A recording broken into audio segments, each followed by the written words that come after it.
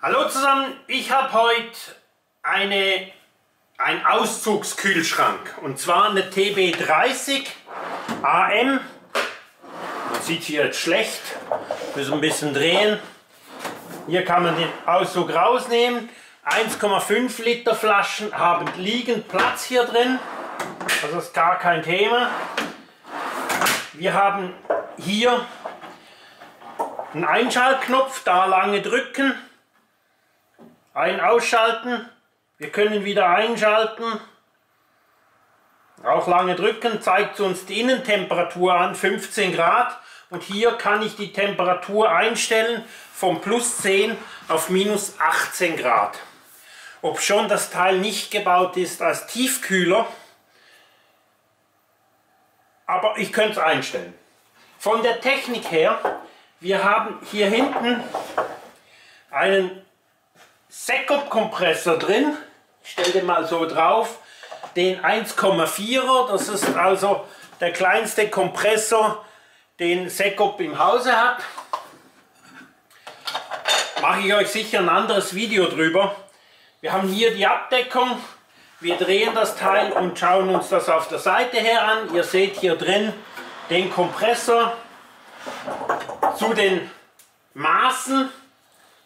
Wir haben hier eine Gesamttiefe von etwas über 70 cm, eine Breite von 44 und eine Höhe von 26 cm.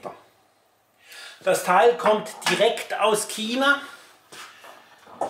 Aus diesem Grund kommt das so kompakt.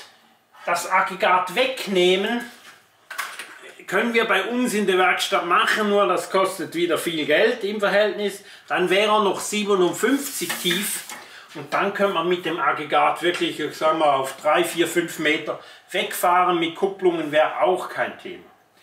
Wir haben diesen Kühlschrank nicht im Sortiment, wir verkaufen ihn nur.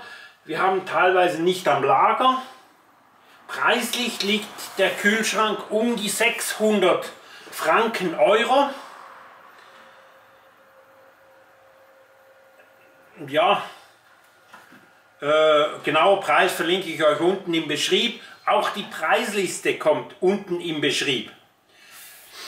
Wir schauen uns den wir haben jetzt hier eine Störungsmeldung E1. Ich habe unten eine leere Batterie.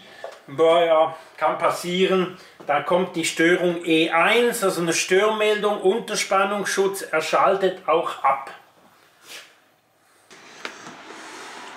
Ja, hier zum Auszug äh, ist Kunststoff, äh, nichts Spezielles.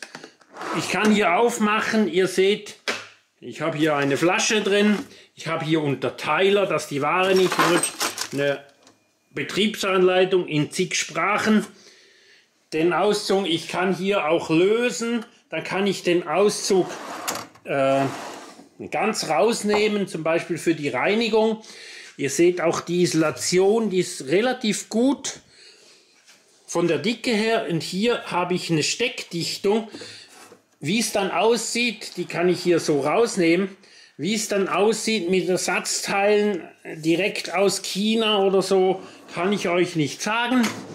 Aber das ist ein glattes Teil. Und für die 600 Euro kann man nicht viel dazu sagen. Ich wünsche euch einen schönen Tag.